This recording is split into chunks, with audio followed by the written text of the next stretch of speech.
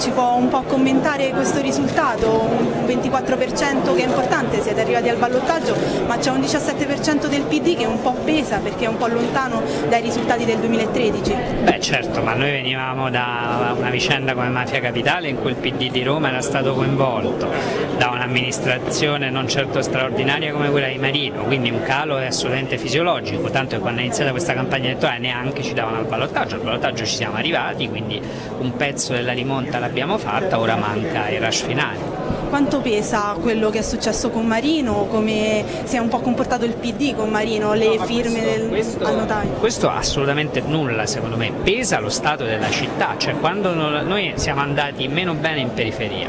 quando si va in periferia non si lamentano perché abbiamo mandato via Marino dal notaio, che poi non è vero perché l'abbiamo mandato via in Campidoglio la presenza del notaio come prevede la legge, queste sono le leggende metropolitane, ma pesa il fatto che quel pezzo di città da Marino è stato amministrato male, dimenticato completamente. Guarda, vi faccio un esempio, Marino ha fatto una sola iniziativa di campagna elettorale a sostegno di Marco Scipioni, candidato presidente del sesto municipio, Torbella Monaca per capirci, persona peraltro che io ho cacciato dal PD perché non Marino sa anche perché ha preso il 2,5% il candidato di Marino, questo diciamo, è il giudizio che viene dato dai cittadini della periferia di Roma.